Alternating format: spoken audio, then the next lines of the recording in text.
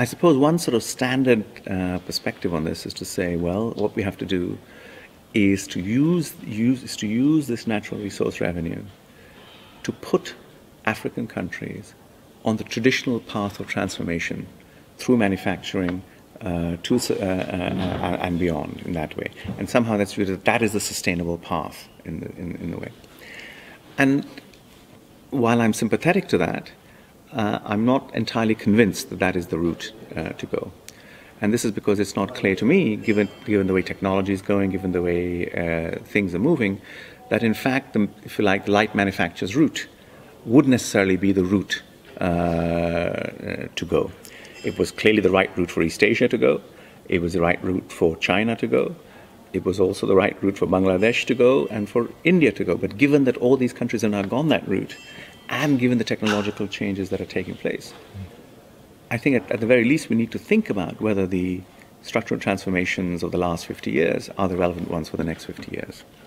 So how can we have a how can we have an economy which is open to whichever transformation turns out to be the right one to, to take? And I think I think development of of uh, physical infrastructure and human infrastructure, human capital, is is the is the best diversified approach to be taking in this uh, in this uh, in this regard. So I would say that the revenue, uh, this natural resource revenue, should be used very strongly in building up human in building up human capital uh, at all levels. Obviously, basic primary education, but then. Uh, uh, advancing secondary education, and also I would say higher education and tertiary education as well. I think that's the safest bet to be to be following. Secondly, to, uh, using that in terms of basic infrastructure uh, for, for the society. I think that, you know, and here, you know, one can talk about electricity and so on, all, all sorts of things, roads, etc. And one can, and again, one can have a, a reasonable discussion about what types of mechanisms one can use, public-private partnerships, etc., etc. So I'm, I'm perhaps less, uh, less inclined to, to think about industrial policy, particularly in the sense of specific industries are the ones to be to be uh, uh, uh, to be protected or to be advanced or encouraged and so on.